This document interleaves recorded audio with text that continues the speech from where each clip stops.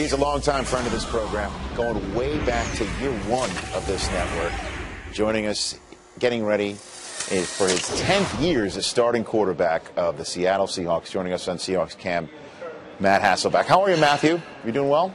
Richard, doing well. good, good to uh, be with you. It's good to uh, have you on the program. It's been too long. How are you feeling? You doing all right? It's been a it's been a long time. Doing great, doing great uh, here in sunny Seattle, having fun. Yeah, and how is how how's your how's I I I don't usually ask this of other people, but how's your body? How's it? How how are you? you are you ready for the the grind of a of a 2010 season, Matthew? I'm getting ready. I'm getting ready. You know, we're kind of in the midway point of the off-season program.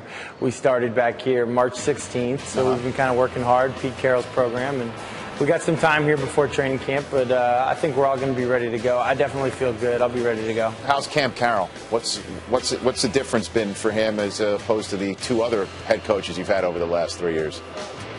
Well, it's uh, it is a little different. You know, there are some similarities, but I think it's uh, you know sometimes it's real intense, high energy. We're going for it. We're competing. Then at other times is uh, there's definitely a teaching tempo, and we're uh, you know, we're trying to learn a new offense, learn a new defense, special teams, same thing. So, but I think uh, the competitive, you know, situations that we have in practice that come up are uh, probably the thing that stand out the most right now. Uh, have you have you spoken to anybody about who's been uh, with a, a Carroll program at all in the past? Because the, the main issue that a lot of people have had is that Pete Carroll in his previous incarnation with the NFL was too much of a player's coach that he really didn't lay down the law when needed. Have you noticed anything of that sort so far in the first couple months with him being there?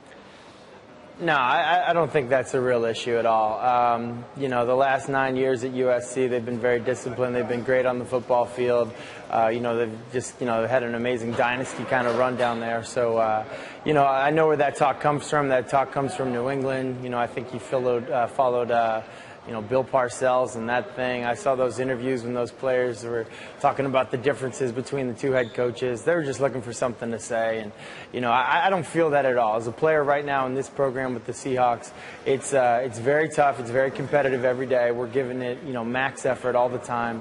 Uh, there are rules. There's not a lot of them. There's just three, but that just means there's less rules to break. And, uh, you know, if you follow those three rules that he has, you're good to go. What are the rules?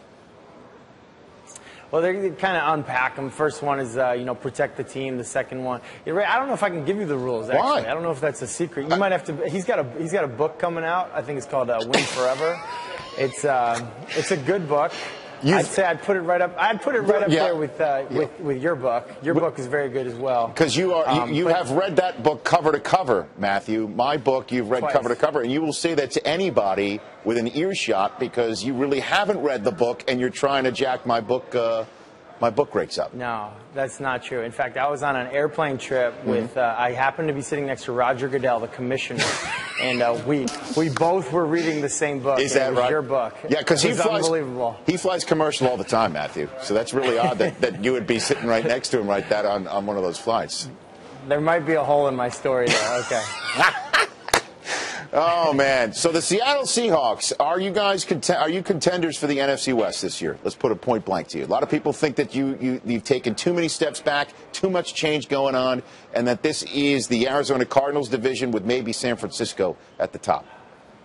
Okay, good. Yeah, let them think that way. That's fine. We'll, we'll, we'll go with that story. We're just going to do our thing here. We're going to keep working and uh, you know see how good we can be. All right, and and uh, Charlie Whitehurst, have you have you uh, what can you fill us in with him? A lot of people were surprised that they went ahead and did this thing with Charlie Whitehurst. Yeah, Charlie's been great. You know, we've got Charlie Whitehurst and uh, JP Losman right here. Those guys have been great. They're a lot of fun to be around. They're very talented, strong arms. Um, you know, they've got a, quite a bit, a little more hair than I do. So, uh, right. you know, that's a little bit, you know, intimidating from time to time. But uh, no, other than that, everything's great. They're fun to be around, and um, they've both been in the NFL for a while. So we have, you know, pretty good conversations about defenses, coordinators, that kind of stuff. So it's uh, it's a good group right now. Okay. Well, because a lot of people were surprised that they went ahead and went and got Whitehurst and paid him what he was paid. Matthew, yeah, were, you, yeah. were you, well, one I, of those? I was, Yeah, you could put me in that boat. I was surprised, You but uh, but it's been it's been good. You know, I, I think that's just part of the NFL. You know, a lot of times, you know, you know, you want to play GM as a player, and you think uh, you know what's right for the team. And then they go get a guy at your position, whether it's the draft or free agency or whatever. And uh, you know, it's obviously not how you would. You know, you're a little biased, but um, you know, your job as a player really is just to do the best that you can, push yourself, and uh, and that's what I'm doing. That's what we're all doing. Lastly, are you concerned about the Celtics at all, Matthew? I am I am sporting my Bruins shirt today. I noticed. Um, I noticed. yeah. No, I'm not. They were up 3-0. They to- were up 3 0 also. You know what I mean? Yeah. I'm just pointing Yeah, out you're that right. symmetry, potential You're right. symmetry right here. Yeah, no, I'm not worried about it. You know, the bigger thing right now with Pete Carroll coming in, all the USC guys, we got a lot of USC coaches, a lot of USC players, former players. Mm-hmm. Yes. So a lot of Lakers fans here, a lot of Lakers fans here in Seattle. So uh, it's a it's a daily grind. Lofa Tatupu and me, uh, we're, we're really just we're trying to hold the fort down. Uh, Bill Russell lives in the area, so we'll, Okay. we'll, we'll put him on our team. But other than that, we're, we're definitely outnumbered. We're, we're looking for Celtics fans in this area. Yeah, I mean, you're probably outnumbered on that front. Well, but listen, the, neither the Lakers aren't there yet either. I mean, a lot of Yeah. people talking too soon on that front too, Matthew. But I just want to get Uh, your take on that. It's a common theme, you know, whether it's uh, talking about the NFL projections or the NBA Finals projections. Um, you know, what matters is what people do on the football field and uh, or on the basketball court. And so, uh, I love it. You know, I love it. You're, you're, you're breaking it down for me. That's what I thought. I miss talking to you, Matthew. I appreciate the time. It, it's been a long time, Rich. You know, it's been too long. Maybe I'll come down in studio sometime. You say that all the time. I mean, But all the time. I, you know, uh, the truth is, here's the truth. Yeah. I don't know if I can compete with those, you know, those Zenga suits that you're wearing. You know, so like I'll come down there with my suit, and I'm going to be next to you with your, you know, your pimped out Zenga, and then you know, I, I don't want to. that- Again, I don't want to poke holes through it again. But this is Prada, all right? And okay. you know, I just don't want to pick any nits with you. I don't want to nitpick, but this it is. that's that's that's very metro of you. Okay. Good, good chatting with you. I hope to see you soon. Seriously, down here.